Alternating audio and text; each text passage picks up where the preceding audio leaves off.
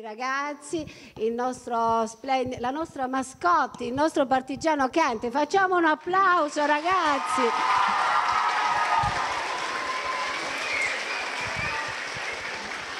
E, e salutiamo naturalmente il sindaco che è sempre qui con noi in, questa, in questo spazio che il comune ci, ci, dà ogni volta che abbiamo bisogno, quasi quasi per uso caprionico, mi pare che sia stato tolto, ce lo prendiamo noi perché siamo sempre qui.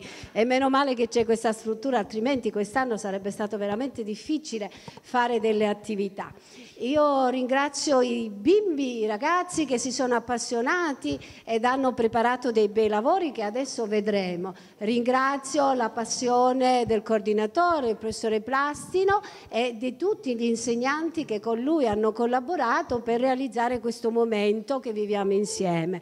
Naturalmente voi sapete cosa rappresenta per noi italiani il 25 aprile. È un evento strepitoso e nello stesso tempo tragico. Strepitoso perché gli italiani sono riusciti a riconquistare la democrazia, a riconquistare i propri diritti. Quindi è un evento bellissimo e il 25 aprile deve essere festa sempre finché questa Repubblica resisterà. Difendete questa festa perché voi siete il nostro futuro e la dovete difendere e ci dobbiamo riflettere sempre sull'importanza di questa festa. Ma è anche un evento tragico perché giustamente se abbiamo dovuto combattere per riavere riconosciuti i diritti della democrazia significa che non esistevano più, che erano stati calpestati stati. E questo è lo spirito di questa manifestazione e farvi riflettere e ricordare. Leggerete delle lettere che sono veramente mh, mm, commoventi, ma che vi faranno riflettere su ciò che veramente rappresenta la democrazia.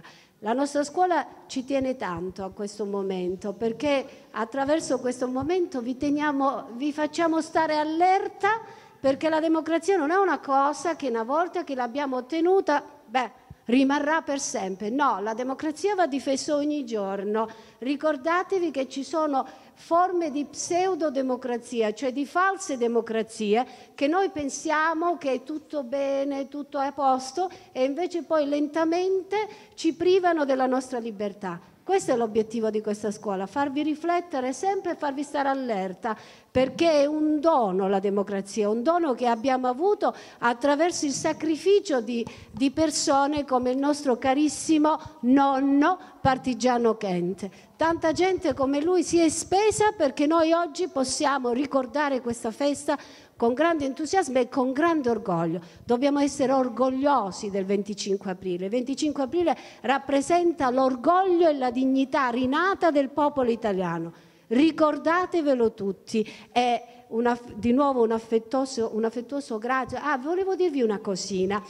Eh, la, la, scuola dell'infanzia oggi non è presente, però ha lavorato mm, più o meno in questo senso. Sono piccoline ci viene difficile a volte spostarle poi la sala non è tal, tanto capiente, però anche loro hanno dato il piccolo contributo attraverso un progetto che hanno realizzato le, le sezioni dove lavora la, signora, la maestra Pensabene e la maestra Bruna Carlopoli. Pensabene a Soveria insieme alla sua collega Bruna Carlopoli ed hanno realizzato un momento molto bello a cui a Soveria il sindaco ha partecipato a scuola di Costituzione, dove dei bimbi così piccolini sono riusciti attraverso dei disegni, attraverso delle, dei dialoghi, a, a ricordarci che cos'è la Costituzione. Non è proprio il 25 aprile, ma è conseguenziale al 25 aprile.